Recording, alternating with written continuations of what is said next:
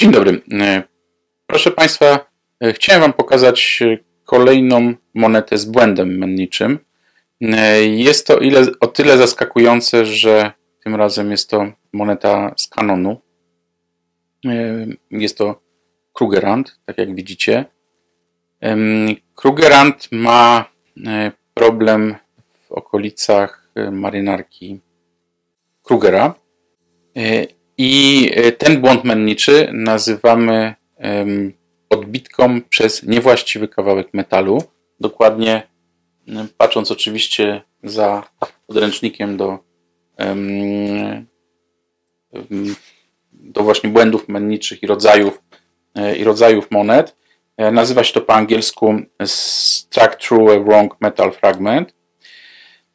I jest to, może to być spowodowane dwoma, właściwie to trzema problemami. Jeden problem jest taki, że fragment metalu y, znajdzie się w obrębie y, prasy no, z jakiegoś tam nieznanego źródła. Może to być tak, że to jest fragment pękniętego y, stempla albo jakiegoś elementu prasy, który taki wiór, wiórocz, taki okruch metalu, który spada na planszetę i zostaje odbity na planszecie w trakcie bicia.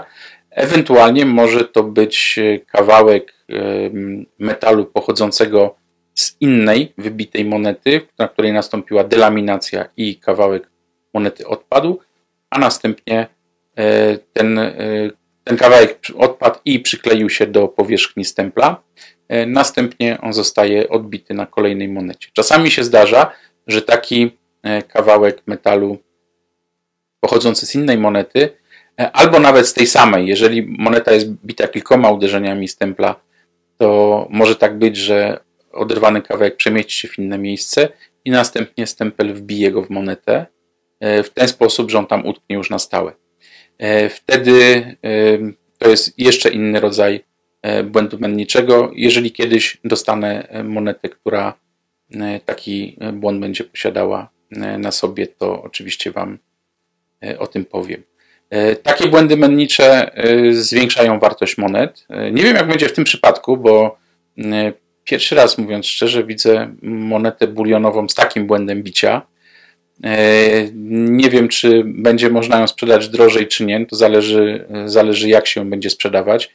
Na pewno takiej monety nie warto sprzedawać dealerowi E, tylko trzeba e, ją wystawić na aukcję i opisać ten błąd menniczy i, i dobrze go udokumentować fotografiami. E, dlatego, że w przypadku monet menniczych jakość tych monet jest kluczowa, jest dość ważna. Na przykład w kontekście, no nie na przykład, ale w kontekście identyfikacji tych monet. One muszą być unifikowane, one muszą być wszystkie takie same, bo wtedy łatwiej je rozpoznawać tym, którzy E, chcą je kupować i chcą w nich oszczędzać pieniądze. E, dlatego z reguły błędy mennicze się e, nie pojawiają na rynku, dlatego że są wyłapywane podczas procesu kontroli po procesie menniczym, a przed pakowaniem takich walorów w mennicy.